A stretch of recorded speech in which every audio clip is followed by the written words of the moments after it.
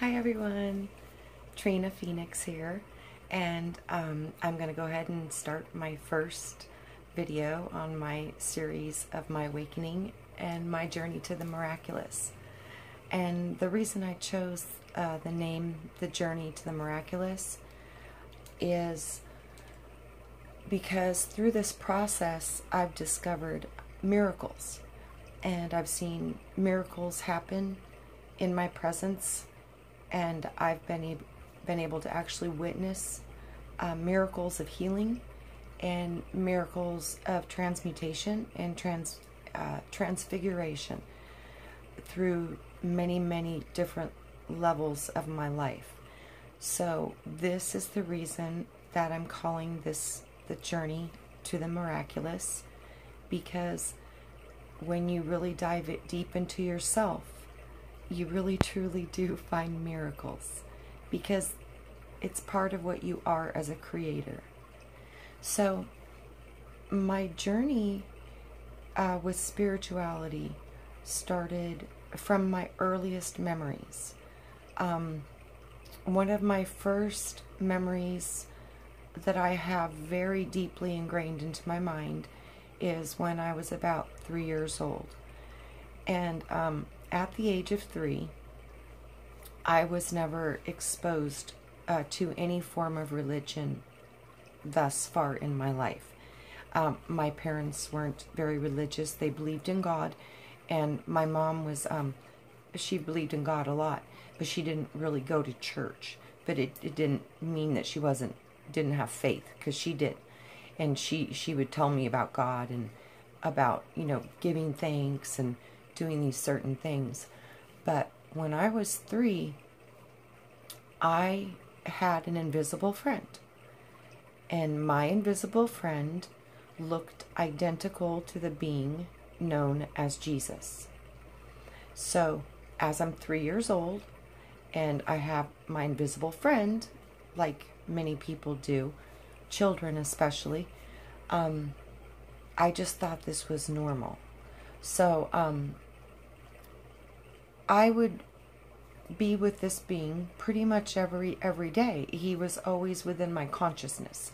I always had access to him whenever I thought of him, and it was just a very natural process for me. So, um, when I was three years old, I had memories of being alive before this physical avatar flesh body. I remembered heaven.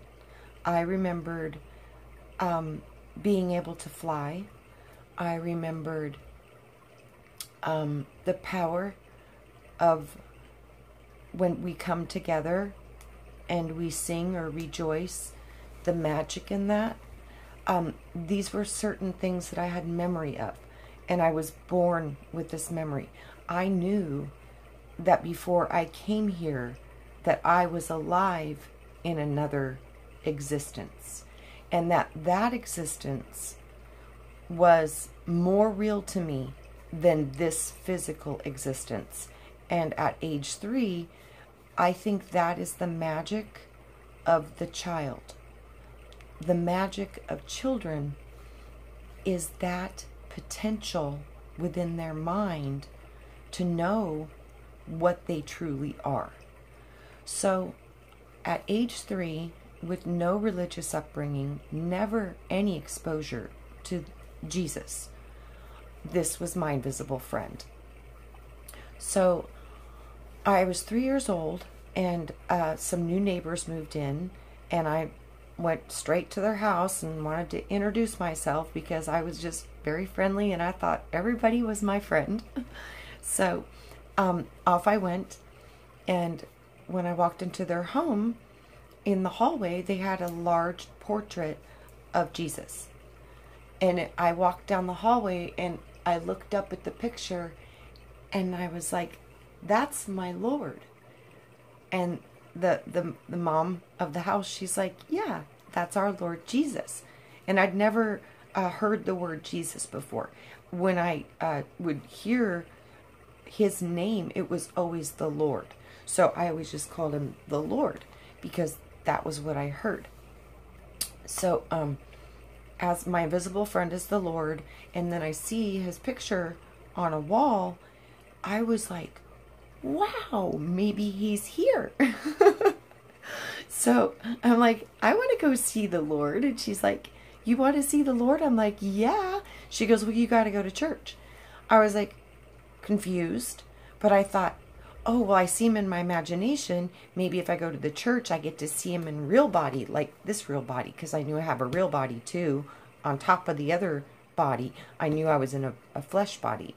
So, um, and that was because before this time, I tried to jump off the roof, and the Lord told me not to, and how bad it would hurt. But with my memories of being able to fly, I thought for sure I could fly. So he told me not to, and I did anyways, and I got hurt. But yeah, he prevented me from getting seriously hurt. That was the first time I actually had uh, angelic, I think, divine intervention that physically moved my body. So um, that was kind of interesting uh, that, that that had happened, but it was more confirmation that we do have access to the spirit powers in the physical. So these were things that I was battling with at age three. So I see this picture of Jesus. She tells me I got to go to church. I'm like, I got to go to church to see him. Okay, maybe that makes sense because he's in the physical, the flesh. So I was super excited. I went home. I told my mom, I says, Mom, I says, I got to go to church and go see Jesus. And she was like, okay, that's fine she's like, who are you going with? I'm like, the new neighbors. And I, you know, introduced her, you know, my moms to each other. And they were like, okay, we'll take you to church on Sunday. So I had to wait till Sunday, the whole thing. So Sunday comes around. I'm all excited. I'm going to go see Jesus, which is to me the Lord. And um, they bring me to this church. And I was put into Sunday school. So they put me into the Sunday school class. And they're telling me that, um, that if I want to know the Lord, that I need to go into this dark closet and put a key on a shelf and they had a candle lit in there and that I was supposed to go in and ask him into my heart. And to me that was kind of strange because I was like, why would I put him in my heart when he's already like my best friend? It, like part of my consciousness. It was like we were kind of like like family. Like he was like the big brother that you never had um, stern, but thought you were super cute. You know, uh, this this wonderful energy of the being known as the Lord to me, um, never ever steered me wrong, and never once gave me bad advice. And still to this day, I can say that's true. Um, but so I, I was starting to understand that that the adults didn't understand the Lord the way that I did. And that was a little disheartening for me. I, it was a little scary too. So I, I, I think, okay, well, maybe these adults, they know, they know more than I do. So I'm going to go into this dark closet and, and see what's going on.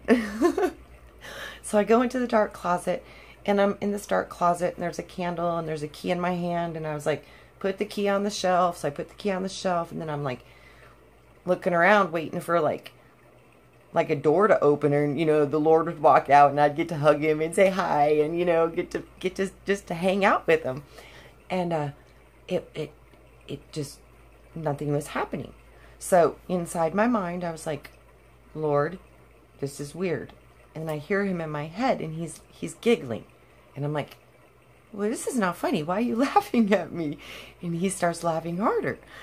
And i'm like okay, I'm in a dark closet with a candle and a key, and this feels really creepy to me because now I'm starting to get a little scared because I'm three and I'm realizing that I potentially am seeing things that other people aren't. So, I, with my fear, like the Lord picked up on that and He was like, My child, fear not. And I was like, This is really weird. This feels creepy. I don't understand. And He says, he says, I know that you don't understand, but let me explain to you what I see. And I was like, okay, what, what, what is this? What is, what is this? He, he, and he was like, you already have that which they seek. You, my child, can see my face, and you can hear my voice. He said, So that which you hold is that which they want to have a direct personal relationship with me. And I was like, Well, I don't understand. How come they don't? And he said, This is another thing I will explain to you. He said, It would be wise for you not to return to these types of places. And I was like, Okay, but why? And he said, Because that which you already possess is that which they wish to receive. And if you tell them that you can already speak to me and that you can already see me, they will tell you over and over again that you can't. And they will tell you over and over again that you need something else to have that connection with me. And through that, you will eventually believe them. And then, through that, you will not be able to hear my voice and you will not be able to see my face. And I was like, What? Oh, that is not okay. And I literally stomped my feet in that closet and said, with my heart and all of my soul, that I would never allow that to happen. And that I would never not be able to hear the voice of the Lord. And with that determination and will, and all three within me must have agreed because I have always had a very strong connection to the being people call the Lord Jesus. I think this is the same person. I think it has many different names. I think it um, has has a lot of uh, it's now been turned into deception. And this was part of the message uh, that the lord was trying to tell me when i was three years old. He was telling me that this internal knowing that you have inside of you that is connected to a very beautiful powerful truth is being distorted. And it's being taught that it's not within you it's outside of you. And in that moment, when I was three years old, I understood that. And at three years old, it broke my heart. So, part of who I am today started with that revelation at age three. And my proclamation from the deepest part of my heart to never, ever give up on that presence and that guidance and that beautiful being that many know as the Lord or Jesus Christ. So, that is another one of my stories and one of my very earliest experiences that um, guided me to become a seeker and guided me to a deep understanding that what is within us is truly sacred and these natural abilities that we had as children that they would be robbed and stolen from us through the very things that we thought would bring us closer to it. And that was terrifying. And it was it's one of those when you when the you learn the truth about something it makes you sad and it breaks your heart and it, it did break my heart because um, at the age of three, it also led to the contemplation that I could see more than the adults that were supposed to be keeping me safe could see. So, in one hand, it terrified me, but on the other hand, it made me just grab a hold of the Lord and the truth of our spirit and the truth of what we were born to be. And I held on to that as my anchor. And I think it really helped me navigate through this lifetime. And it helped me to stay anchored to my own spirit. So I hope this story helps some of you to understand uh, where where a, a large part of my foundation comes from, and it is definitely with the Lord, also known as Jesus Christ. Um, another uh, part of this understanding that I received about the name Jesus was that um, this name, when it is used as a power that is outside of yourself rather than connected to you by your lineage of who you are as a child of the Creator, which He is child of the Creator, the Son, as well, the true Son. If if you understand this, you won't fall into the Jesus trap because they took what he is and inverted it to deceive even God's holy elect. And I, later in life, realized that this would be one of the biggest deceptions done to humanity. So, understand from my belief and my opinion, only opinion and only my truth. It doesn't mean it's going to be resonating with you. Um, and that's okay. That is that is so okay. But my truth uh, is that this being is real, but there's also the inverted one that you're being force fed, and this is the one that tells you that this power is outside of you. So understand that this connection to this being is real, but it comes from within you. It will never come from outside of you. So know that you are very powerful and you are connected to these beautiful beings of light and love. And they truly are creators. And you truly are connected to them. So understand that we are connected to much more than we could possibly imagine. And with that, you have much more support than you could ever imagine.